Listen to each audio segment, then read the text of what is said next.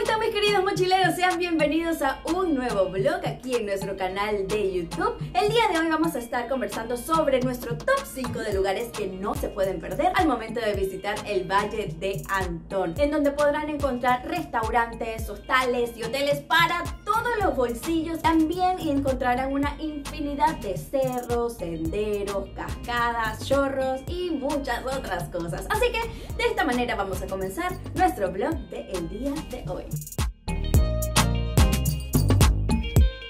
Posición número 1, la India Dormida, un lugar icónico del Valle de Antón. Este cerro se encuentra a 1055 metros sobre el nivel del mar. Su dificultad es moderada y es muy importante que si usted va a visitar este cerro lleve zapatos adecuados, agua, vestido de baño, porque también hay cascadas en el camino hacia el cerro y de igual manera también pueden visitar la piedra pintada. Posición número 2, Cerro Carihuana o Cerro Cara Iguana, tiene una altura de 900 metros y nosotros aquí en nuestro canal lo hemos visitado. Lo único que tienen que hacer para saber cómo llegar y otros datos es ir al link que sale ahorita mismo aquí arriba en pantalla. El nivel de dificultad de este cerro es bastante moderado.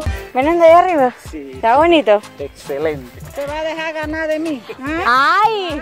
Y podrán ver muchos cerros del Valle de Antón, incluyendo la India Dormida. Y hablemos sobre lugares diferentes. En nuestra posición número 3 les recomendamos el Serpentario. Si a ustedes les encantan los animales, este es el lugar perfecto. El Serpentario no es un zoológico, es un refugio de vida silvestre en donde las personas que allí trabajan se dedican a salvar a animales que se encuentran en peligro. Ya nosotros hemos visitado este lugar y lo único que tienen que hacer para conocerlo es ir al link que está aquí arriba. En nuestra posición número 4 les tenemos un lugar emblemático en el Valle de Antón y quien no ha escuchado sobre el Chorro Macho, un chorro que tiene una caída de 30 metros de altura, en donde también podrán encontrar puentes colgantes, una piscina natural increíble y muchas otras actividades. La entrada a este lugar es de 5 dólares y deben pagar 5 adicional si se quieren bañar en la piscina natural, la cual vale la pena. Y nuestra posición número 5 es un lugar que en realidad, para serles honesta, he perdido la cuenta de cuántas veces lo he visitado.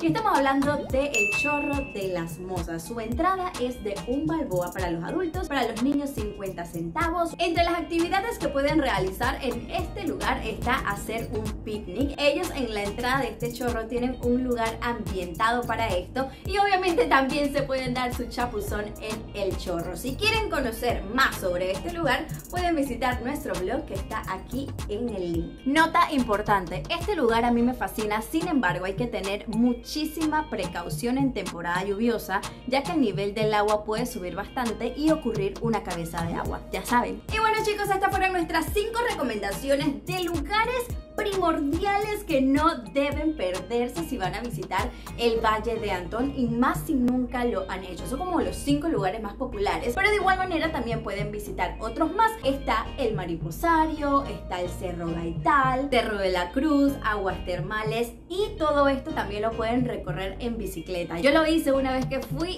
y fue una experiencia increíble. Eso sí, bastante cansona, pero es una manera distinta de poder conocer este pueblo. También pueden hospedar en diferentes lugares. Les voy a mencionar algunos de los cuales me he quedado. Está el Anton Valley, que queda en la calle principal del Valle de Antón. El hostal Windmill, que para mí ha sido uno de los mejores y los más económicos, o al menos cuando yo lo visité. Tenía habitaciones compartidas, tienes la piscina, tiene una cocina en donde tú puedes preparar tus propios alimentos. Y también está el Hotel Campestre, que si no me equivoco ahora se llama el Hotel Valle Verde. Y bueno, nada chicos, de esta manera nosotros llegamos a la parte final de nuestro blog del día de hoy. Esperamos que esta guía flash, esta guía rápida, les funcione para cuando vayan a visitar el Valle de Antón. Si quieren saber sobre más lugares o de repente restaurantes, hoteles u otros senderos, escríbanos aquí abajito si hacemos una segunda parte. Será entonces hasta la próxima. No olviden suscribirse, darle like, compartir y comentar en este video para que todo el mundo siga conociendo lo cool y lo hermoso que es nuestro país, Panamá. Así que nos vemos en la próxima aventura. ¡Chao!